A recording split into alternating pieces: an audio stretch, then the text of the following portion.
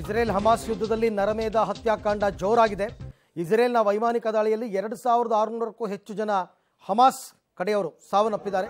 Hamas ದಾಳಿಯಿಂದಾಗಿ ಸಾವಿರದ ನಾನ್ನೂರಕ್ಕೂ ಹೆಚ್ಚು ಜನ ಇಸ್ರೇಲ್ ಕಡೆಯವರು ಸಾವನ್ನಪ್ಪಿದ್ದಾರೆ. ಎರಡೂ ಕಡೆಯಿಂದ ಒಂಬತ್ತು ಸಾವಿರಕ್ಕೂ ಹೆಚ್ಚು ಜನ ಗಾಯಗೊಂಡಿದ್ದಾರೆ.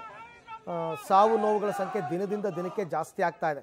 ಏಕೆಂದರೆ ಅಲ್ಲಿ ಹೆಣಗಳನ್ನೇ ಲೆಕ್ಕ ಹಾಕಕ್ಕಾಗ್ತಾ ಇಲ್ಲ.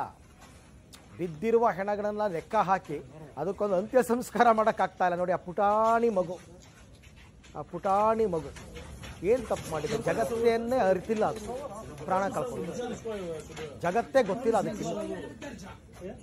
ಪಾಪ ಎಲ್ಲಿತ್ತೋ, ಏನು ಕತೆನೋ, ಯಾವುದೋ ಒಂದು ಬಾಂಬ್, ಯಾವುದೋ ಒಂದು ಶೆಲ್ ದಾಳಿ.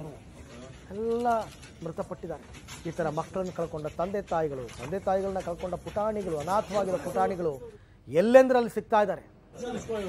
ಅದಕ್ಕೆ ಪ್ರಶ್ನೆ ಆಗೋದು ಈಗ ಜಾಗತಿಕ ಮಟ್ಟದಲ್ಲಿ ಯಾಕೆ ಯುದ್ಧಗಳು ಬೇಡ ಅಂದರೆ ಇದಕ್ಕೋಸ್ಕರ.